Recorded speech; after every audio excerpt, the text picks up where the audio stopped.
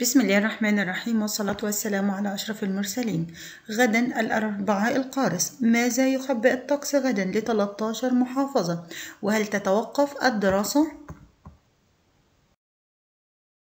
غيوم وصقيع وأمطار. بحسب بيان هيئة الأرصاد الجوية عن طقس الغد يتضح تكون موجات من الصقيع والغيوم مع فرص متفاوتة لتساقط الأمطار على كافة أنحاء الجمهورية ما عدا محافظات جنوب الصعيد وتتكون موجات الصقيع على المزروعات في وسط سيناء وشمال الصعيد وتتساقط الثلوج على مرتفعات سانت كاترين بينما تسود أجواء غائمة على المحافظات الساحلية والوجه البحري والقاهرة مع غياب أشعة الشمس.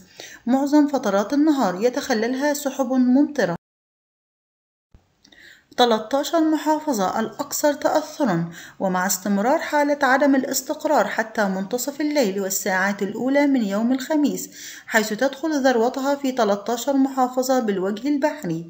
بحسب بيان الأرصاد في وقت سابق وتكون محافظات ومدن الإسكندرية وبرج البرولوس والبحيرة وكفر الشيخ والمحلة الكبرى والدقهلية دمياط وبورسعيد وطنطا والمنوفية والشرقية والقليوبية والقاهرة والجيزة وستة أكتوبر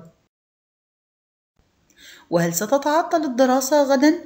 قرار تعطيل الدراسة وفقا لتبعات الطقس موكل إلى المحافظين في الأقاليم التي تشهد تقلبات في درجات الحرارة وفرص لسقوط أمطار غزيرة قد تتعطل مع الحركة والسير على الطرق السريعة وفي أجواء شبيهة بتوقعات الطقس غدا قررت قبل ذلك عدد من محافظات الجمهورية أبرزها الإسكندرية والبحيرة ومطروح وكفر الشيخ ودمياط.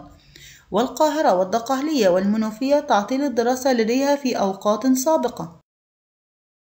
ولكن قرار تعطيل الدراسة من عدمه يصدر وفقا لبيان الأرصاد والتقرير المرسل مساء اليوم إلى السادة محافظين الأقاليم. حيث يتم الإعلان عنه بشكل رسمي حينها مع الأخذ في الاعتبار خضوع معظم الجامعات والمدارس حاليا إلى امتحانات منتصف العام.